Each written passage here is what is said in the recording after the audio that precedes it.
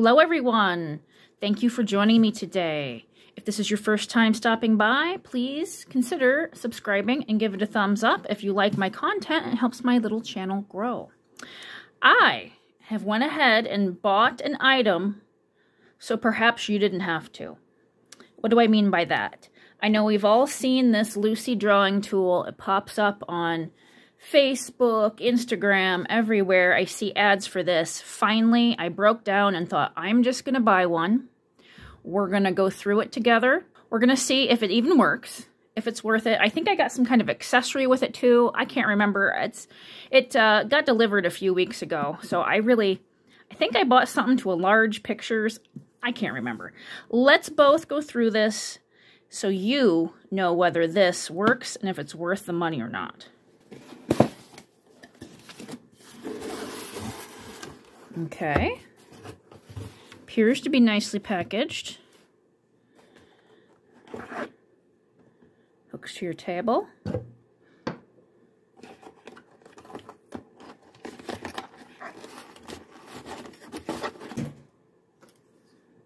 Oh, there's the little view finder situation.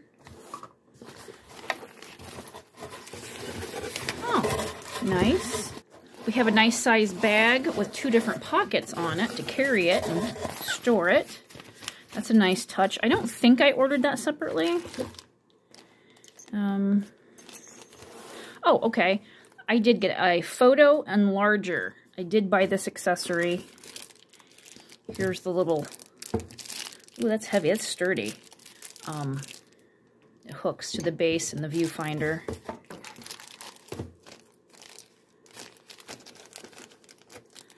I'm not really sure.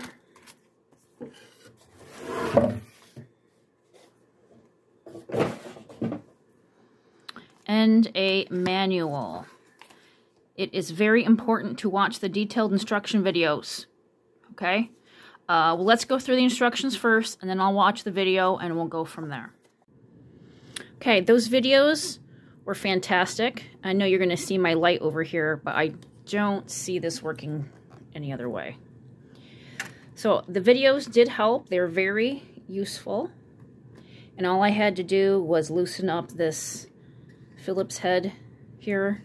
And then I got my Lucy to go into the projector part of this. Um, it comes with two filters. Um, they said if you want to make things brighter, you put it on the bottom. If you want to dim it, you put it on the top. And you can also add them both together depending on what you need. I'm not sure yet, so I'm not going to add these quite yet.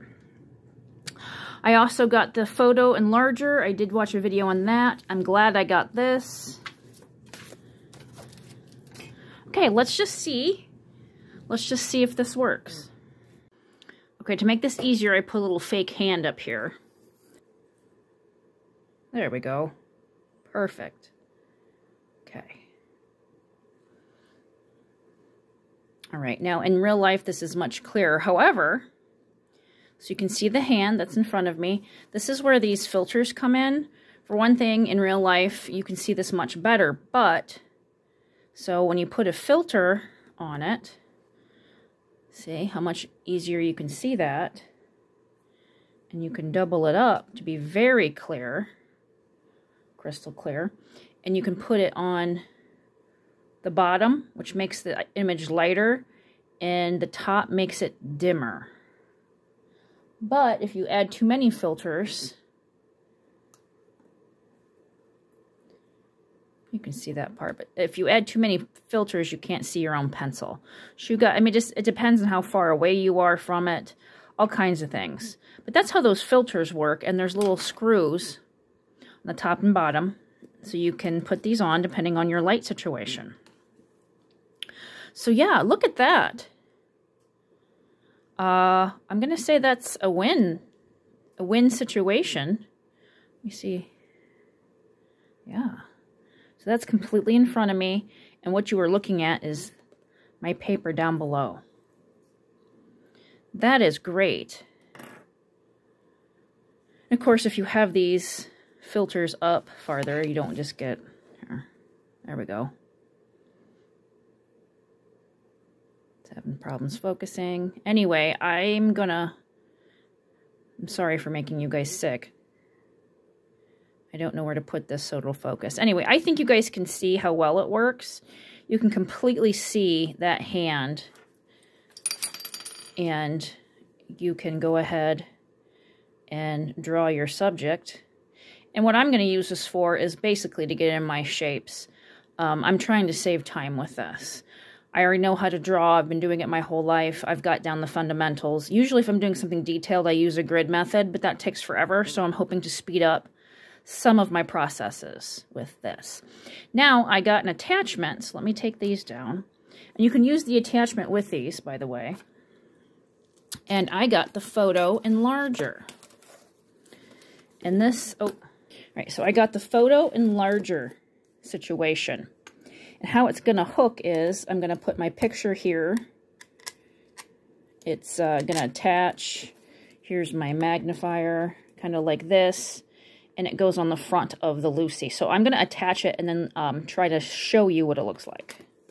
By the way, my photo is going to go right here. I'm going to attach uh, this guy, just something, so we can demonstrate this. Right, so this is from up above. Can you see what's going on here? So this actually holds the photo away from the Lucy.